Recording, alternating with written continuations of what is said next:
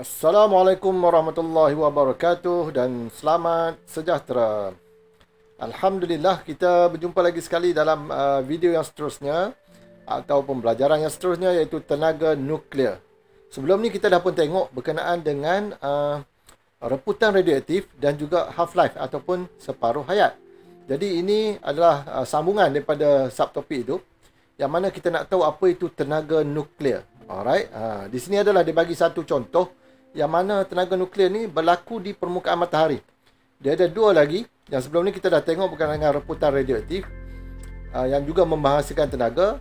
Ada dua lagi proses iaitu yang pertama adalah pelakuran nukleus. Okey, pelakuran nukleus ataupun nuclear fusion dan satu lagi adalah pembelahan nukleus. Alright, ataupun nuclear fission. Okay, yang ni adalah fusion. Okay, pembelahan nukleus ialah nuclear fission. Alright. Jadi kedua-dua ni kita akan tengok untuk sambungan kepada reputan radioaktif. Yang mana kalau kita tengok definisi bagi tenaga nuklear ni, tenaga nuklear dikenali sebagai tenaga atom yang dibebaskan ha, semasa tindak balas nuklear seperti reputan radioaktif, pembelahan nukleus dan juga pelakuran nukleus.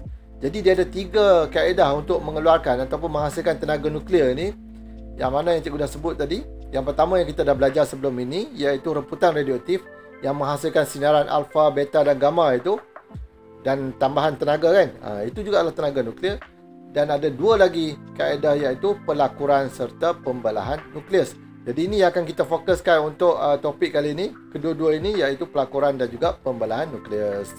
Okey, di matahari yang berlaku adalah pelakuran nukleus. Yang mana pelakuran nukleus ni dia ah ni dia sebut ni dua nukleus hidrogen bercantum untuk membentuk satu nukleus helium. Ah, bermaksud kita ada dua uh, hidrogen dia berlanggar sama-sama sendiri dan dia telah bercantum pelanggaran ini sebenarnya sebelum berlakunya pelanggaran itu dia memerlukan tenaga yang sangat tinggi, tenaga haba. Itu semua kita akan bincangkan dalam tajuk pelakuran nukleus. Yang mana hasil pelanggaran itu menghasilkan tenaga haba dan cahaya. Yang itu yang berlaku di permukaan matahari, nuclear fusion ini yang mana menyebabkan kita, planet kita menerima uh, haba dan juga cahaya daripada matahari termasuklah semua yang berada dalam sistem suria. Okey, uh, itu yang berlaku di permukaan matahari. Okey, jadi mari kita tengok untuk kita belajar tajuk ini. Uh, di sini ada satu maklumat uh, yang ringkas kat sini sejarah tenaga nuklear di Malaysia bermula dengan penubuhan sebuah penyelidikan uh, ni. Pusat Penyelidikan Atom Tun Ismail ataupun Puspati. Okey, nama lain dia juga adalah MIN. Uh, Okey eh, MIN ini. Uh, lepas tu dia tukar jadi apa ni? Dia tukar jadi Agency Nuclear Malaysia. Okey, Malaysian Agency of Nuclear. Betul lah tu uh, Agensi Nuklear Malaysia ataupun ANM ini MIN ataupun MIN nama lain dia uh, Malaysian Institute for Nuclear Technology. Malaysian Institute for Nuclear Technology dekat Bangi. Okay, dia kita ni sekarang berada dalam peringkat R&D lah eh. R&D untuk mem, uh, mengkaji ataupun masih dalam research and development ini untuk mengkaji tentang penggunaan tenaga nuklear dalam menjana tenaga elektrik Ha, tapi kita masih di peringkat kajian lah. Okey, mari kita tengok yang seterusnya.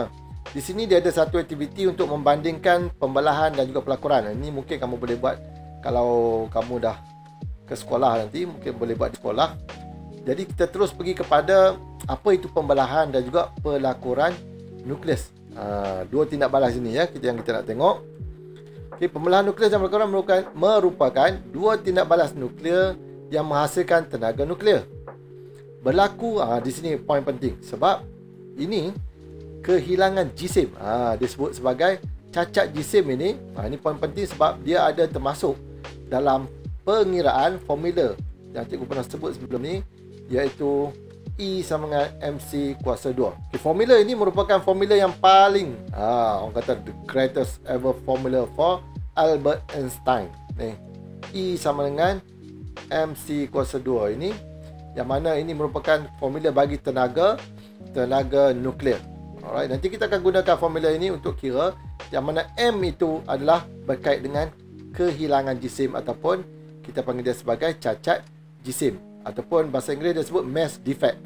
Okay, mass defect. Berlaku semasa tidak balas nuklear. Okay, dan di bawah ni ditunjukkan pembelahan dan juga pelakuran nukleus. Mari kita tengok satu persatu. Kita pergi dulu kepada pembelahan nukleus. Apa itu pembelahan nukleus? Ha, nama pun belah. Kalau belah bermaksud kalau dia ada seketul, kita boleh belah dia bagi jadi dua. Sebab tu nama dia belah. Ha, kan? Nuclear fission. Ha, bahasa Inggeris dia ialah fission.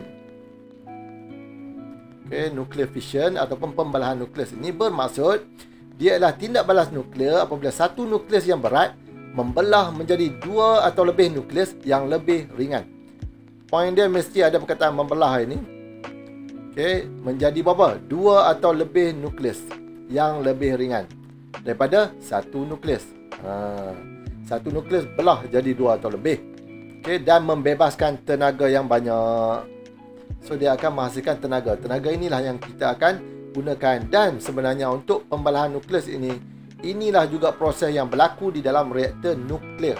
Okay, dalam reaktor nuklear nanti kita akan tengok di bawah insya-Allah bahawa dia memang menggunakan proses pembelahan nukleus. Kita tak pakai pelakuran nukleus. Setakat yang cikgu uh, tahu, kerana pelakuran nukleus dia memerlukan tenaga haba yang tinggi untuk menghasilkan pelakuran itu berlaku. Jadi kita tak naklah bazir dua kali kan. Ha, kita kena hasilkan haba dulu untuk dia berlaku lepas tu baru nak menghasilkan haba yang lain pula. Jadi kita tak nak kita untuk nuclear reactor memang dia gunakan pembelahan nukleus. Nanti kita akan tengok dalam chain reaction ataupun tindak balas berantai. Insya-Allah. Okey, apa yang berlaku semasa pembelahan nukleus ni? Kamu tengok eh kita ada satu neutron dan kita ada satu nukleus uranium 235. Ha, ini satu nukleus yang besar. Kita ada satu neutron dan neutron ini kita bombat. Ha, bombat ataupun fire. Apa ni? Fire. Kita tembak dia. Tembak dia ke arah nukleus uranium tadi. Apa yang berlaku ialah kalau kamu tengok ah 23592 nombor dia, nombor nukleon dan nombor proton dia telah menjadi 23692. Uh, berlakunya bila kita bedil, uh, dia sebut bedil lah. Bombat itu ataupun ni bedil daripada neutron ditembak ke arah uh, uranium ini, maka dia membentuk satu nukleus yang tidak stabil, iaitu 236. Uranium 236 tak stabil. Apa yang berlaku? Maka dia akan terbelah dua. Uh, seolah-olah macam kita ambil, kita bombat dia, tembak dia, terbelah dua. Sebenarnya dia percantuman uh, neutron itu masuk ke dalam nukleus. Maka dia jadi tidak stabil. Bila tidak stabil dia akan membelah dua dengan menghasilkan tenaga dan juga tiga ketul. Ha cikgu panggil tiga ketul. Dengan menghasilkan tiga ketul neutron. Ha, bukan tiga ketul lah. Maksudnya tiga apa nak sebut lah ha, tiga neutron. Ha, tiga neutron ni. Satu dua tiga. Okey, sekarang ni daripada satu neutron tembak kepada nukleus, nukleus terbelah dua, Ni satu, dua kita panggil nukleus anak dan juga dia menghasilkan terbebas pula tiga uh, tiga neutron. Uh, nak sebut apa ni ya? Tiga biji ke tiga ketul ke? Uh, tak kisahlah. Yang penting kamu faham dia tiga neutron itu terhasil. Satu, dua, tiga. Apa jadi kepada tiga neutron ni? Tiga neutron ni dalam tindak balas seterusnya yang kita yang cikgu sebut tadi tu, tindak balas berantai, dia ni akan pergi tembak yang lain pula. Ah. Satu ni akan tembak.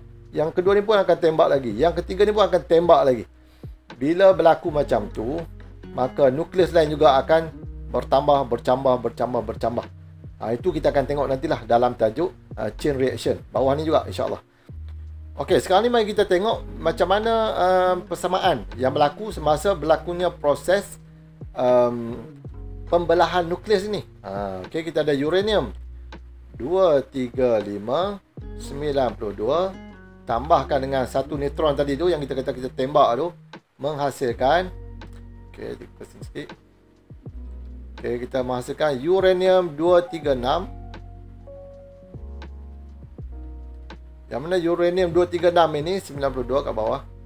Dia tidak stabil dan dia terhasil lah terbelah lagi ha. yang terbelah ni lah menghasilkan okey barium 141 56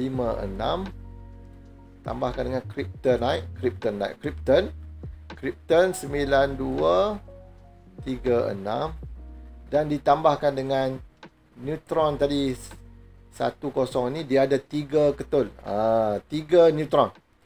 Dan ditambahkan dengan energi ataupun tenaga. Okey, inilah persamaan dia eh untuk tindak balas yang berlaku ni yang kita namakan sebagai pembelahan nukleus ini. Alright, kalau kamu tengok dari segi uh, uh, keseimbangan kamu dah kena tahu lah. Kalau sini atas 236, atas ni hasil tambah dia mesti jadi 236. 141 campur 92, yang ni ni 3 kali 1 campur dengan 3. Maka kita akan dapat 6 2 3 6. Okey, 2 3 6. Yang bawah pula 56 campur 36 mesti dapat 90 2 56 campur 36 dapat 92 So dah cantik. Uh, Kiri dan kanan. Yang ni 3 kali kosong kosong lah. Alright. Jadi ini yang berlaku. Dia menghasilkan dua nukleus anak yang lain Dan terhasil 3 3 neutron terbebas. Okay Jadi itulah yang berlaku di dalam Pembelahan nukleus. Uh, Senang je kan? Mari kita tengok apa pula yang berlaku dalam pelakuran. Okay, yang bawah ni pula adalah pelakuran nukleus.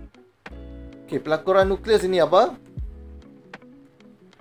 Pelakuran nukleus ialah tindak balas nuklear apabila nukleus yang kecil dan ringan aa, bercantum untuk membentuk satu nukleus yang berat aa, dengan membebaskan tenaga yang banyak. Tindak balas ini berlaku pada keadaan suhu dan tekanan yang amat tinggi. Aa, nampak? Dia perlukan suhu dan tekanan yang amat tinggi baru boleh berlaku tindak balas ini. Sebab kita tahu dah kalau suhu tinggi, maka tenaga kinetik akan tinggi. Disebabkan oleh molekul itu, dia memiliki tenaga haba yang tinggi, maka tenaga kinetik dia akan meningkat. Bila tenaga kinetik meningkat, baru dia, dia boleh berlanggar dengan kelajuan tinggi dan bercantum untuk membentuk satu nukleus yang lebih berat. Ha, itu poin dia di dalam pelakuran nukleus ini. Contoh yang dia bagi ialah uh, kita kata isotop bagi hidrogen ini. Okay, hidrogen hidrogen ada tiga eh.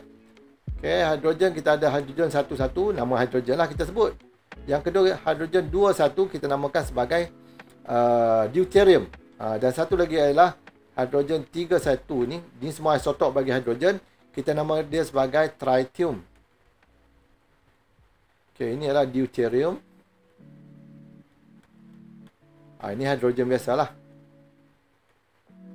Okay, jadi dia kata kat sini, uh, deuterium bergabung dengan tritium. Ha.